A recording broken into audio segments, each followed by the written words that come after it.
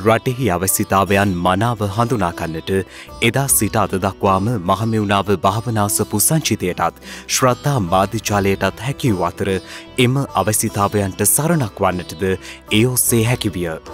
Covid අභියෝගය හමුවේ විවිධ පාර්ශවයන්ට අතහිත දෙමින් සුවවිරුවන් රණවිරුවන්නාදී සැමට සේම මහජනතාවටද එම සරණ නිතැතින්ම හිමිවිය. එලෙස මතු වූ ප්‍රබල අවසිතාවයක් ලෙසින් රෝහල් අර්බුදය ඉදිරියට එද්දී ඒ වෙනුවෙන්ද සරණක් වන්නට සුවිශේෂී ක්‍රියාතාමයක් සිදු කෙරුණා. ඒ අනුව දහස් සංඛ්‍යාත ජනතාවකට සුවසේ ධර්මය ශ්‍රවණය කිරීමට ඉදිකරමින් පැවති.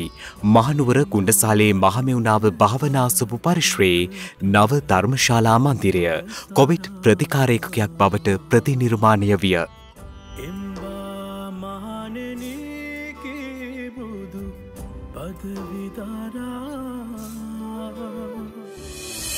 රජය විසින් සිදු කළ ඉල්ලීමකට අනුව මෙම කොවිට් ප්‍රතිකාරයකකය නිර්මාණය වූ අතර අද එය සෞඛ්‍යංශ වෙත බාර දෙනු ලැබවා.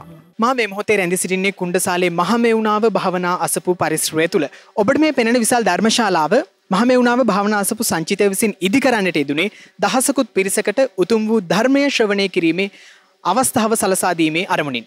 නමුත් රටේ පවතින කොවිඩ් වසංගත තත්ත්වයක් සමග රජය විසින් සිදු කරන ලද ඉල්ලීමකට අනුව මහමෙවුනාව භාවනා අසපු සංචිතයත් ශ්‍රද්ධා මාධ්‍යජාලයේත් නිර්මාතෘවර අතිපූජනීය කිරිබත්ගොඩ ඥානානන්ද ස්වාමීන්ද්‍රයන්න් වහන්සේගේ අනුශාසකත්වයෙන් මෙම ධර්මශාලා පරිශ්‍රය අද දවසේදී කොවිඩ් ප්‍රතිකාර ඒකකයක් බවට පරිවර්තනය කොට සෞඛ්‍ය අංශ වෙත බහර දීම සිදු කෙරුණා.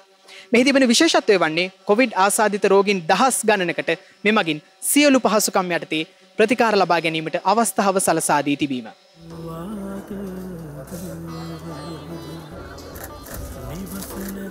කුණ්ඩසාලේ මහමෙවුණාව භාවනාසපු යානුශාසක පූජපාද නාලන්දේ පවර ස්වාමීන් වහන්සේ ඇතුළු මහා සංග්‍රත්නයේ ප්‍රධානත්වයෙන් එම කටයුතු පැවැත්වුණා.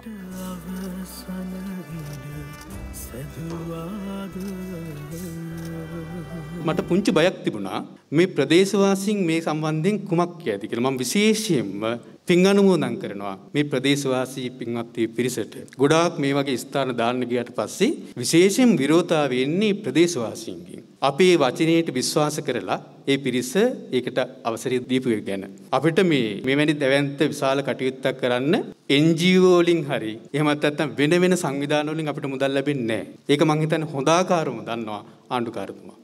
ඇමරිකාවේ අසපුවට සම්බන්ධ, එංගලන්තයේ අසපුවට සම්බන්ධ, කැනඩාවේ අසපුවට සම්බන්ධ, ඕස්ට්‍රේලියාවේ අසපුවට සම්බන්ධ ඒ පිරිස් ඒ රැකියාවල් කරලා උපේන මුදල්ලින් පොඩ පොඩ පූජා කරනවා. ඒ පූජා කරන්නේ පින ගැන සලකලා.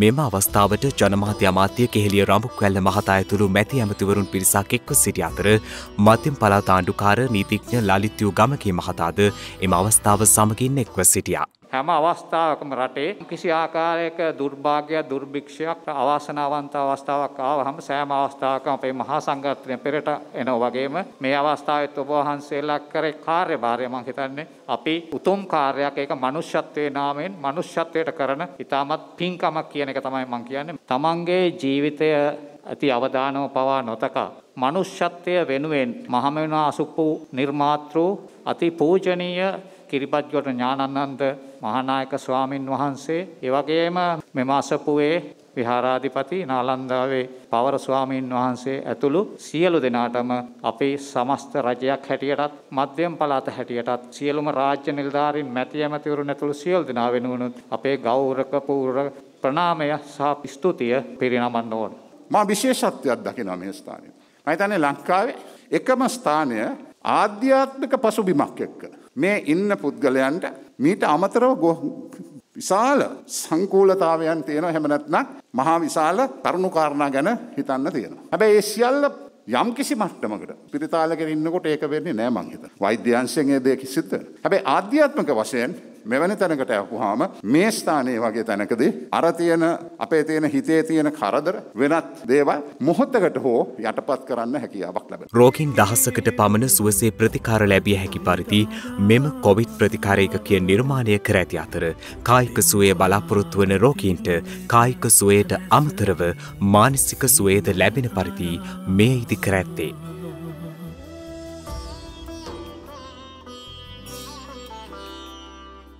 රෝහල්වල අර්පුත නිර්මාණය වෙද්දී තවතුරටත් කොවිට ආසාධිතින් වැඩි වශයෙන් වාර්තා වෙද්දී. එක අර්බුදයට මෙම කොවිට් ප්‍රතිකාර මධ්‍යස්ථානය මහත් පිටුවහලක් වෙනු ඇති.